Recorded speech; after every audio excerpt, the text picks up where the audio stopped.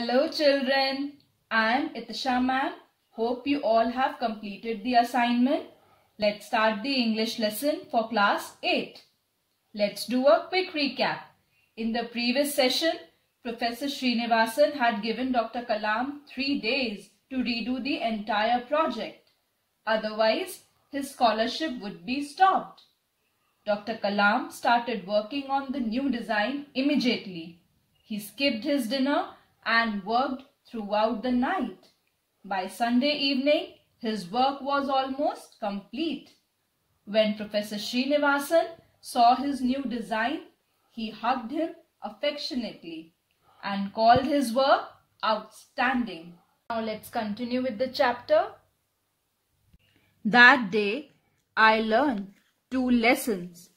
A teacher who has his or her students' progress in mind is the best possible friend because the teacher knows how to ensure that you excel.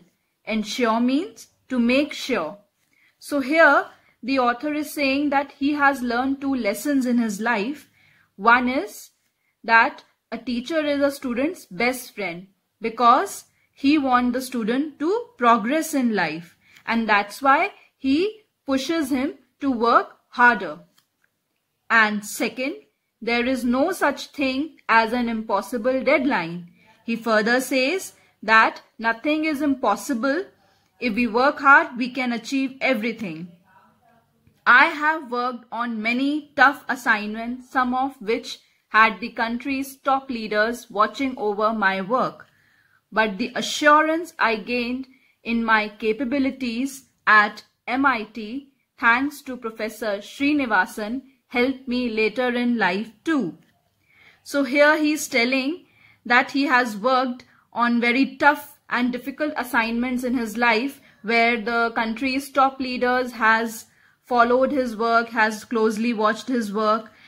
But the assurance, assurance means confidence in your own abilities. And capabilities means abilities, whatever you can do. So the confidence that he gained at MIT, that is Madras Institute of Technology, has helped later on in his life too.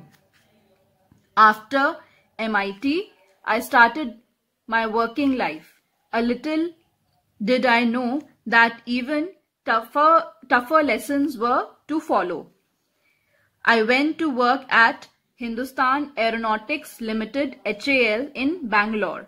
So here he's saying that after uh, studying at MIT, he started his work life where he uh, even uh, learned uh, most uh, more difficult lessons of his life. He went to HAL, uh, Hindustan Aeronautics Limited in Bangalore to work there. There, I learned a lot about aircraft and their design and technology. By now, I was very sure that I wanted a career in flying. He's saying that he learned many things about aircraft and the design and the technology that is used in building them.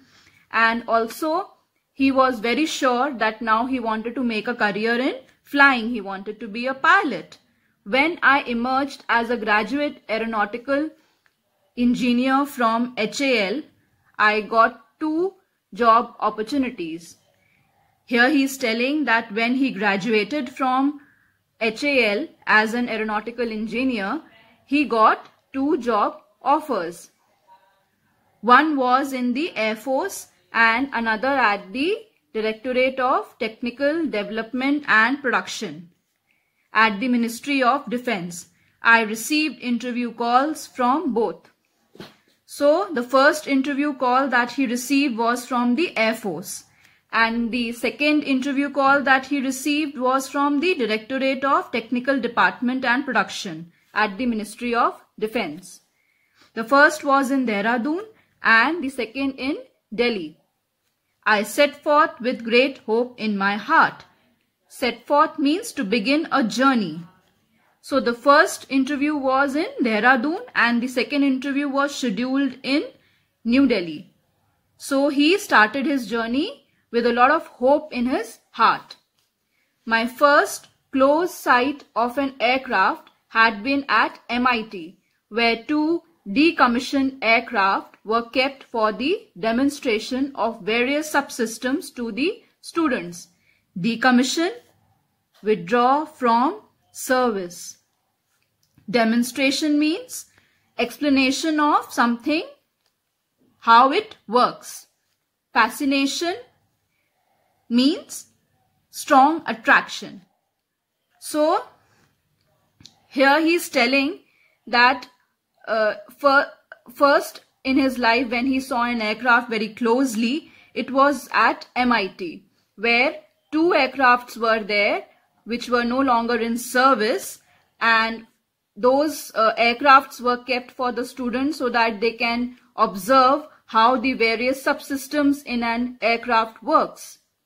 They had held a special fascination for me and I was drawn to them again and again. So he was strongly attracted to those machines and he used to look at the aircrafts again and again all day. They represented for me man's ability to think beyond his boundaries and to give wings to dreams. Wings to dreams means inspire someone to achieve great things. So here he is telling that the aircrafts were not merely machines for him, but it was a representation of the fact that one can achieve his dreams if he goes beyond his limits. I had chosen aeronautical engineering as my area of study because of my fascination for flying. Here he is saying that he chose aeronautical engin engineering as his field of study because he was very much attracted towards flying. Over the years, I had nurtured the hope to be able to fly, to handle a machine as it rose higher and higher in the stratosphere was my dearest dream. Stratosphere means the layer of Earth's atmosphere that covers the height of 15 to 50 kilometers above the Earth's surface. So it was his deepest dream to be a pilot and to fly an aircraft very at a very uh, great height in the sky in the stratosphere. As I made my way from Madras to North India for the interviews, I played this dream over and over again in my mind. Here he is sharing his experience that when he was uh, making his journey from Madras to North India for the interviews, so uh, he saw that dream again and again in his mind. It was so close to his heart. I was finally on the threshold of becoming a pilot. Threshold, entry point of something. So he was at the beginning of becoming a pilot. He was just one step away from becoming a pilot, from achieving his dream. The journey from Tamil Nadu to Dehradun was a long one not just geographically but also in terms of the distance. I would travel from my humble origins to the prize that lay in the foothills of the Himalayas, a place in the Air Force as a pilot. So, humble origins means simple background. Foothills means a low hill at the base of a mountain range.